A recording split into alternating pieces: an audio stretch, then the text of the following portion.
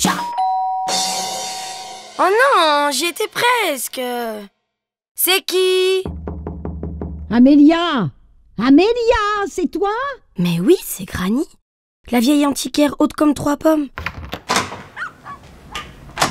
Madame Granny! Chut! T'es toute seule.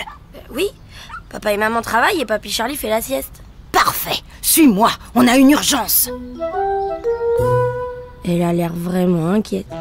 Alors j'obéis sans poser de questions. Enfin, presque. Qu'est-ce qui se passe? On va où? C'est grave? Pourquoi vous faites cette tête-là? C'est bon, c'est bon, calme-toi Vois-tu, jeune fille, je fais partie d'un clan très ancien. Les portiers du temps. Waouh Canon comme nom Mais attendez, je croyais que vous voyagez plus dans le temps. Oh, tu sais, on a tous nos petits secrets. Bref, c'est avec eux que j'ai fabriqué l'ascenseur temporel. Mais juste après notre voyage chez les pharaons, l'un des nôtres nous a trahis et a volé les plans de notre machine pour en construire une autre. Et vous savez qui c'est? Le professeur Nasbrock.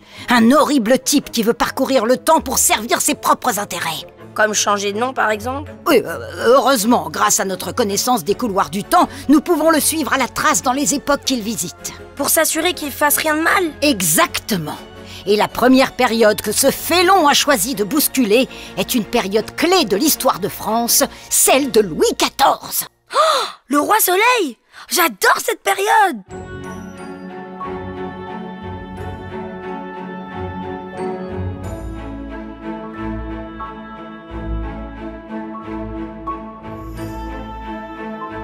Bienvenue dans les voyages d'Amélia au cœur de l'histoire. Épisode 2 À la rencontre de Louis XIV.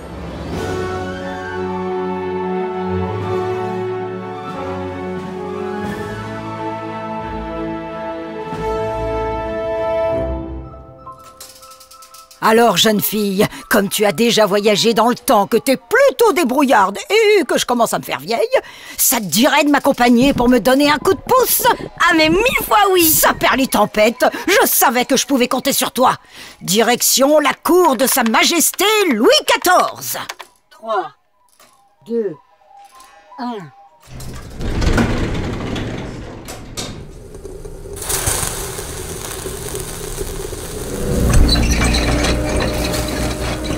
Oh là là là Ah, Ça secoue toujours autant ces voyages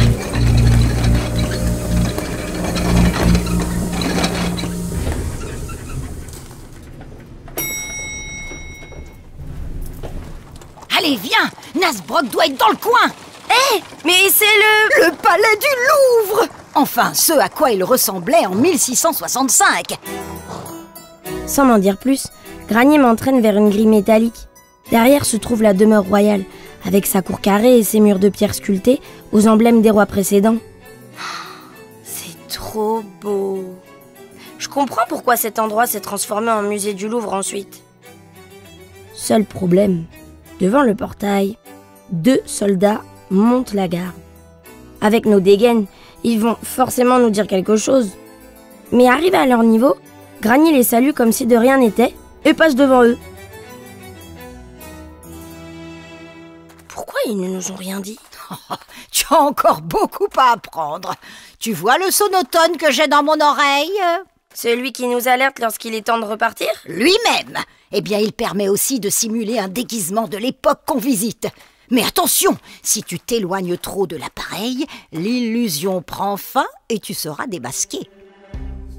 Je découvre alors que je suis habillée d'une épaisse robe bleue pleine de fanfreluches. Un corset me serre la taille et un chapeau bordé de dentelle est posé sur ma tête.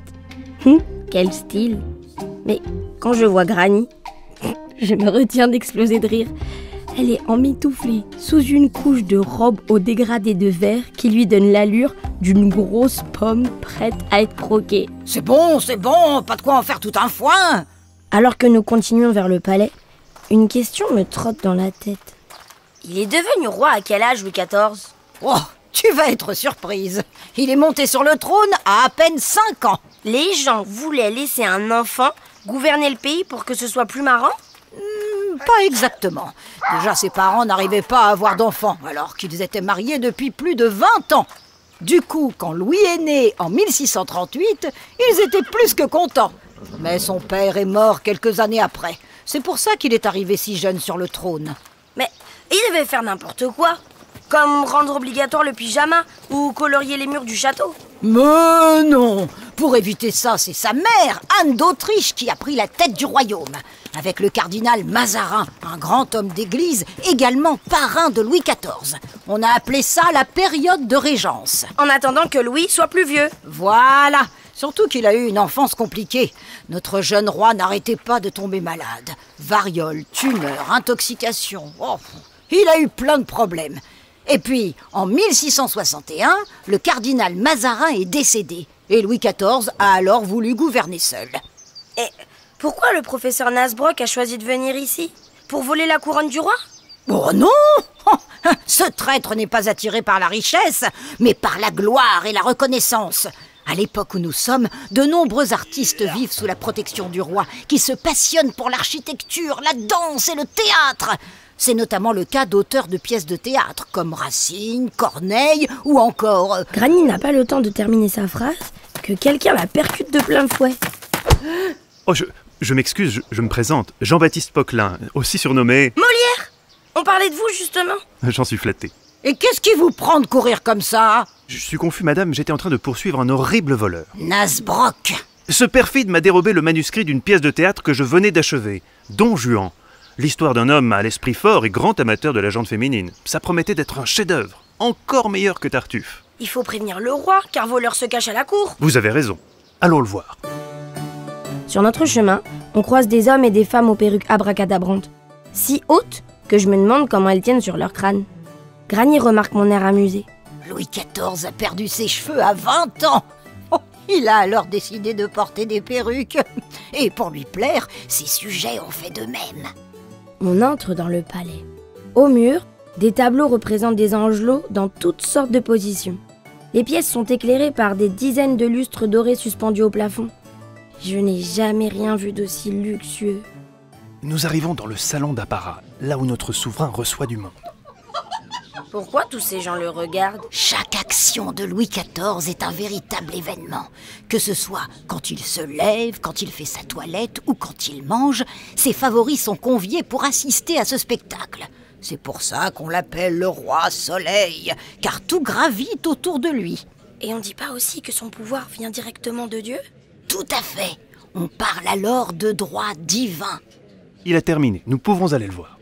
On s'avance vers Louis XIV quand un homme surgit de nulle part et d'un geste vif pique le sonotone de Granny avant de se cacher derrière le souverain. Oh Nasbrock Odieuse petite crapule Reviens ici Viens chercher.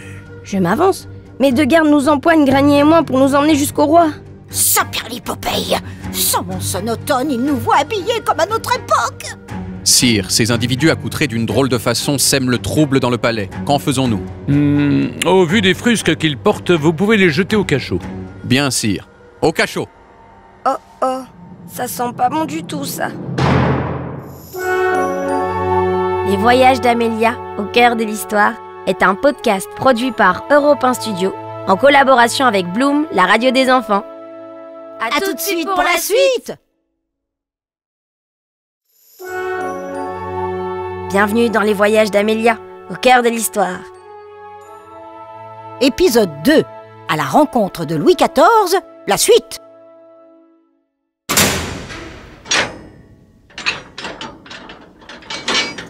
Eh bien, ils sont pas très accueillants ici. C'est ça de se présenter en jean et basket devant le roi La cellule dans laquelle nous sommes est sale, humide et elle semble renfermée. Je me faisais une autre idée de la vie de château. Soudain, un bruit résonne dans le couloir. Une seconde après, la porte de notre prison s'ouvre sur Molière qui tient une poêle à frire dans la main. À ses pieds, notre gardien gît sur le sol, inconscient. Molière Mesdames, désolé, je, je ne pouvais rien faire devant le roi. Alors, c'est vrai que vous êtes accoutrés bizarrement, mais je pense que vous pouvez m'aider. Ce satané usurpateur, Nasbrock, s'est attiré les faveurs du roi. Pourquoi Louis XIV s'intéresserait à une vermine pareille? Parce qu'il y a quelques jours, il lui fit lire ma pièce en prétendant l'avoir écrite. C'est une honte J'ai un plan. Mais pour ça, il faut qu'on retrouve le roi. Venez On entre dans une sorte de couloir. Au plafond, des peintures somptueuses sont encadrées de dorures. Sur les murs, une tapisserie aux mille et une couleurs décore le lieu. C'est la galerie Apollon, refaite il y a peu. C'est incroyable C'est l'un des exemples d'ornementation que Louis XIV instaurera ensuite dans tout le château de... Versailles Le roi part vérifier l'avancée des travaux du château de Versailles. Je rejoins Molière qui regarde par une fenêtre. Et ce satané Nasbrock est avec lui.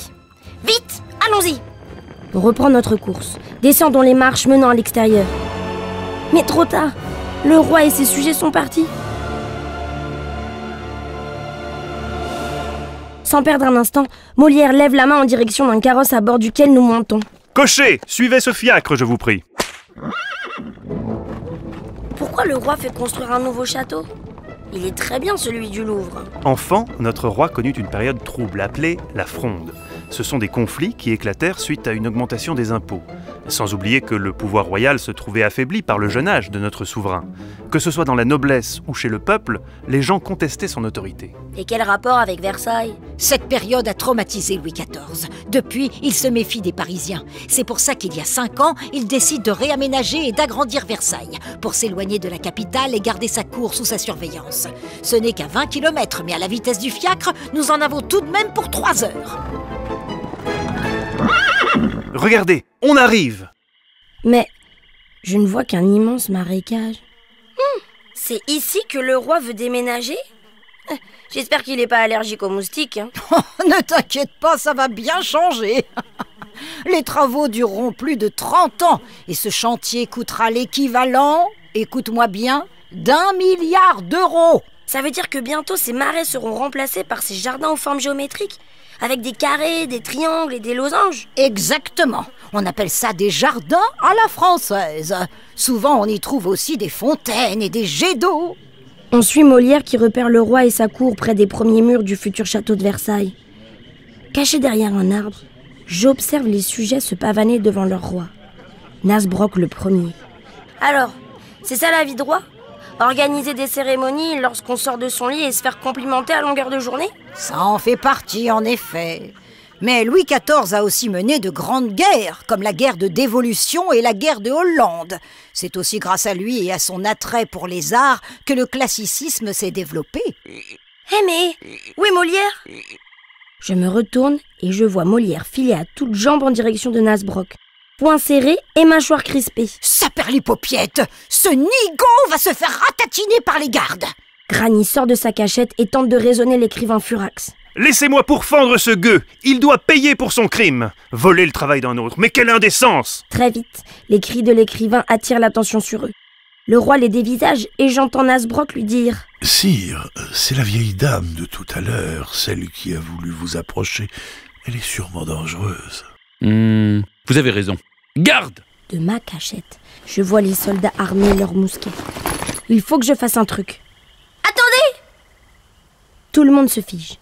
C'est déjà ça de gagner. Je m'approche tout doucement. Sire, elle aussi, elle est mauvaise. Mieux vaut s'en débarrasser. Euh. Mon bon roi, cet individu à vos côtés dit être l'auteur de la pièce qu'il vous a présentée. Oui, c'est bien vrai. Je pense que c'est un menteur. Et que le véritable auteur, c'est Molière. Et je peux vous le prouver. Baliverne Je vous écoute, jeune fille. Il n'y a que le réel auteur qui peut réciter un passage de sa pièce par cœur. Alors, mettez-les à l'épreuve. Excellente idée. Euh, Molière, commencez. J'ai justement un passage qui convient à la situation. Don Juan, acte 5, scène 2. L'hypocrisie est un vice à la mode, et tous les vices à la mode passent pour vertu. Le personnage d'homme de bien est le meilleur de tous les personnages qu'on puisse jouer aujourd'hui, et la profession d'hypocrite a de merveilleux avantages. Waouh Pas mal En effet, c'est bien le texte. Nasbrock, à vous maintenant. Le visage du professeur devient tout blanc. Il bafouille quelques mots et s'enfuit en courant. Ça, Granny, vous allez me le payer. Les soldats le poursuivent, mais Nasbrock est déjà loin. Par terre, je vois un objet briller. Granny Nasbrock a laissé tomber ça. Saperlicopec Mon son automne Nous disons au revoir à Molière qui nous remercie chaleureusement. Nous regagnons notre calèche et retournons en direction de notre ascenseur temporel resté au palais du Louvre. Louis XIV nous regarde nous éloigner d'un air intrigué. Molière, ces saltimbanques que vous côtoyez sont bien étranges. 3, 2, 1.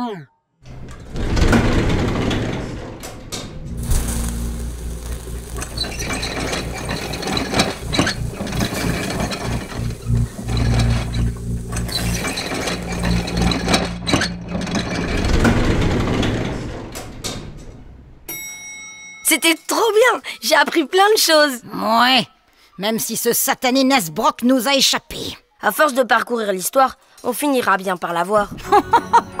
Si tu le dis. Allez, tu peux retourner à ta répétition de batterie maintenant.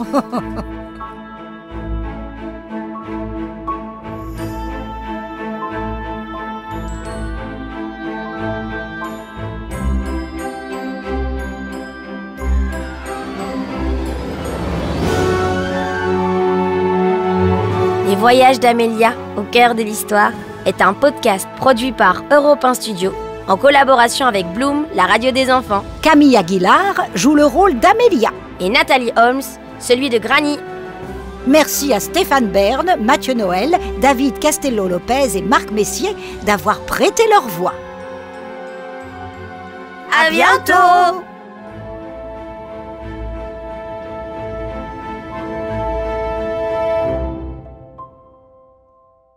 Je ne sais pas pour toi, mais moi, cette histoire m'a donné envie de lire les pièces de Molière.